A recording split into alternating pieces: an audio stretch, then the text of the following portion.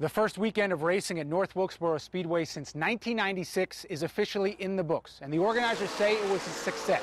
They say between five and 8,000 fans came into the stands to watch all of the races, and they say this was an important first step in what they hope will be a consistent rebirth to this track.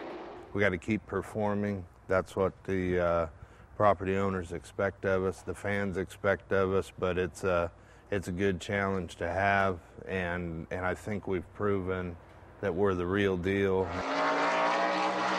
Engines also roared at North Wilkesboro on Tuesday. The Red Bull Sprint Cup team rented the track for testing. And in some ways, this is almost as important as last weekend's races.